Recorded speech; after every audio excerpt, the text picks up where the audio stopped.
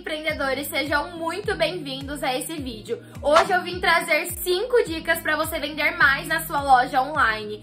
Ou melhor, você pode não estar vendendo quanto gostaria por não fazer uma dessas 5 dicas. Se você ainda não me conhece, prazer, eu sou a Esté, sou produtora de conteúdo sobre empreendedorismo e tenho e-commerce de moda streetwear e gringa há mais de 3 anos. As dicas que eu vou trazer para vocês são coisas que eu fui aprimorando e percebendo no decorrer dessa jornada empreendendo.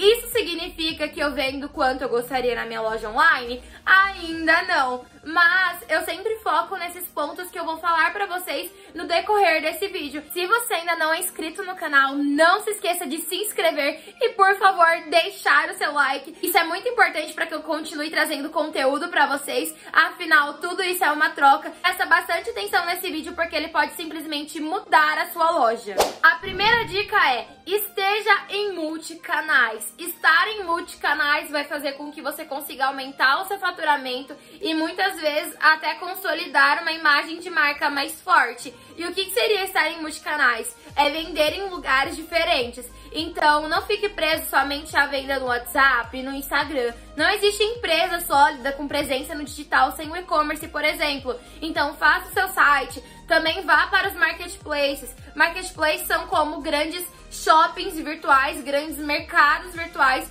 onde você vende seu produto e paga uma comissão. Exemplo disso, Shopee, Mercado Livre e até a própria Shein, né? A famigerada Shein, também é um marketplace onde você pode estar vendendo dentro dela. E o mesmo se aplica para redes sociais também. Não coloque todos os ovos no mesmo ninho diversifique também. Não fique preso somente ao Instagram, por exemplo. Ele não é seu, pode cair a qualquer momento e isso pode impactar de maneira significativa no seu negócio. Então, esteja preparado para que, se alguma dessas plataformas cair, você vai conseguir ter um recurso, algo a mais que vai te sustentar nesse período. Então, outra oportunidade, por exemplo, para esse período é o TikTok. Lá, a quantidade de usuários já está chegando a bater o Instagram. Você consegue converter em vendas por lá. Uma outra dica é o que? Pinterest. Muitas pessoas ainda utilizam o Pinterest para pegar ideias lá. Então, nada melhor do que colocar imagens da sua loja. A segunda dica é aumente o tráfego de pessoas na sua loja online. Não é porque é online que não precisa de movimento de pessoas. Só que a diferença aqui é que nós estaremos falando em tráfego, que é justamente essa quantidade de pessoas que vai acessar a sua loja online. Esse tráfego de pessoas no seu site pode ser vindo de duas maneiras: pago ou orgânico. Para conseguir tráfego orgânico, você precisa insistir na produção de conteúdo, por exemplo. Através de conteúdos de valor e estratégico, você consegue atrair pessoas para que entrem no seu e-commerce e, quem sabe, você não converte em uma venda. Já no tráfego pago, você literalmente paga para ter essa movimentação de pessoas.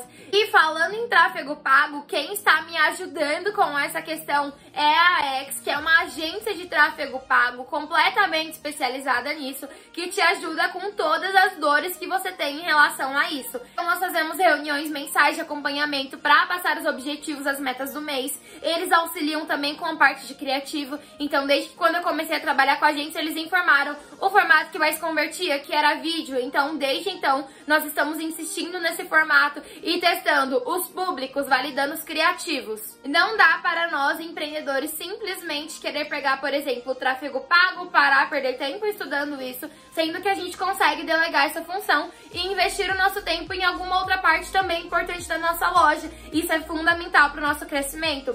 Então eu vou deixar aqui o Instagram da X para que vocês consigam mais informações sobre a agência, consiga fazer contato com eles e tirar toda e qualquer dúvida que você tenha quanto a isso. A terceira dica é Faça ações de venda em massa. O que, que, seria isso? São aquelas ações pontuais que têm um objetivo pré-definido. Então pode ser queima de estoque, aumento, aumento do faturamento, é, entre outros objetivos que você pode definir. Essas ações têm um período determinado, de início, meio e fim todo o planejamento deve ser feito anteriormente e elas são ótimas para colocar no tráfego pago, porque uma boa oferta converte. Então você pode fazer criativos, né? Os criativos são os vídeos, os anúncios de fato que ficam rodando e que aparecem como patrocinados lá nas redes sociais. Você pode pegar e fazer criativos com as ofertas dessa é, ação de venda em massa que não necessariamente precisa ser de desconto propriamente dito. Um outro ponto legal de destacar é que você pode fazer essas ações de maneira mais contínua ou uma mais curta. Uma mais curta, por exemplo, quando você precisa injetar caixa rápido, ou uma contínua com um planejamento maior e uma antecipação maior. Quarta dica é Sempre refaça as fotos da sua loja. Mas Esté, a foto ficou linda, como assim? Não necessariamente eu tô falando que você precisa mudar a foto lá do site ou do marketplace, mas sempre fique refazendo as fotos, apresentando nas redes sociais de maneiras diferentes para que você consiga gerar desejo nesse seu cliente para que ele compre de você o seu cliente precisa se imaginar utilizando o produto que você vende, por exemplo, utilizando a roupa que você vende para solucionar um problema que ele tem. Então, apresente sempre o seu produto como solução para alguma questão que esse cliente possa ter. Então, por exemplo, se você vende roupas como eu e vai divulgar nos stories os produtos de uma coleção de inverno, fale sobre o frio que está fazendo e os benefícios que o cliente vai ter adquirindo esse produto, que é estar quentinho, confortável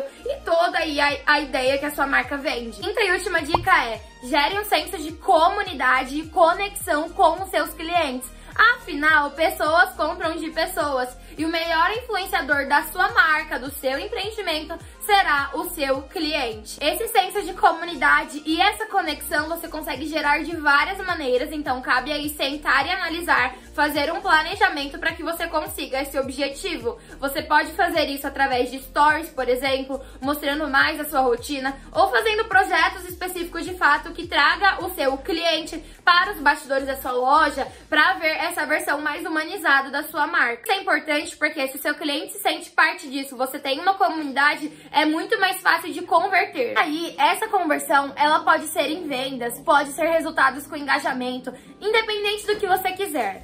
E, inclusive, aqui eu encaixo um dos tópicos que eu citei antes, que é a questão do tráfego pago. Você precisa de pessoas para fazer tudo isso. Então, é muito melhor quando você potencializa os seus resultados com tráfego pago. Então, suponhamos que você levou uma quantidade de pessoas legal para o seu site e para sua rede social e depois disso, em cima disso, na verdade, você consegue trabalhar em um projeto justamente para criar tudo isso que eu falei, criar essa comunidade. Então essas as dicas, pessoal. Eu espero de coração que elas façam a diferença para você. Podem parecer coisas simples, mas que se você parar para analisar na prática, nem sempre fazemos da maneira como deveríamos. Se você tiver alguma dúvida, comente aqui embaixo. Na descrição também eu vou deixar disponível mais informações sobre a agência de tráfego que eu indiquei para vocês no decorrer desse vídeo. Um beijão, nos vemos no próximo vídeo. Tchau, tchau!